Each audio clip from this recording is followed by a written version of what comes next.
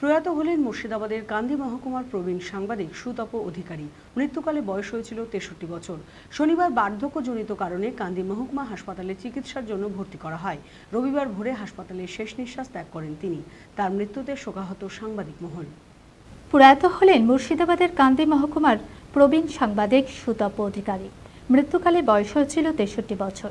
বিগত কয়েক মাস থেকে কিডনিজনিত রোগে ভুগছিলেন তিনি। শনিবার রক্ত স্বল্পতার কারণে কান্দি মহকুমা হাসপাতালে চিকিৎসার জন্য ভর্তি করা হয়। রবিবার ভোরে হাসপাতালেই শেষ নিঃশ্বাস ত্যাগ করেন। দীর্ঘজীবন কান্দি বান্ধব পত্রিকায় সাংবাদিকতার কাজ করেছেন তিনি।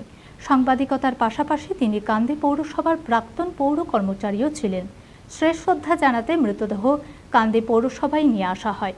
সেখানে শ্রদ্ধা জানান কান্দি পৌরসভার উপপৌরপিতা অজয় বড়াল, পৌর সদস্য সহ পৌর কর্মচারীরা।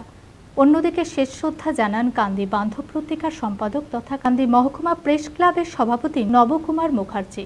রবিবার বহরমপুর খাগড়া শ্মশানে তার শেষ কৃত্য সম্পন্ন হয়। তার মৃত্যুতে শোকাহত সকলে। আমাদের একজন সহকর্মী বন্ধু অধিকারীকে হারালাম। সাংবাদিক। কালীবন্ধ শতবর্ষ প্রাচীন পত্রিকা সাপ্তাহিক। তারই জন্মলগ্ন থেকেই একটা কিডনি তার ছিল না। একটা কিডনি নিয়েই একজন সোশ্যাল মানুষ হিসেবে সমাজে সর্বত্রই তার বিচরণ ছিল। ইদানিকালে তার এই দুরারোগ্য ব্যাধি ধরা পড়ে। ডায়ালিসিসের কথা ছিল। সে বলল, আমার শরীরে ডায়ালিসিস নিতে পারবে না। আমি যতদিন এইভাবেই বেঁচে থাকব। এইভাবেই গত দু একদিন আগে গান্ধী হসপিটালে ভর্তি হয়। রক্ত স্বল্পতার কারণে তারপর রক্তও দেওয়া হয়, কিন্তু শরীরে আর নিতে পারেনি। আমরা তাকে আমরা হারালাম।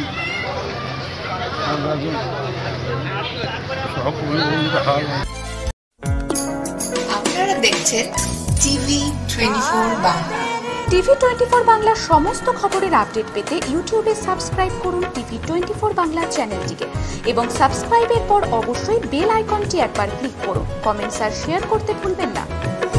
TV twenty four Bangla.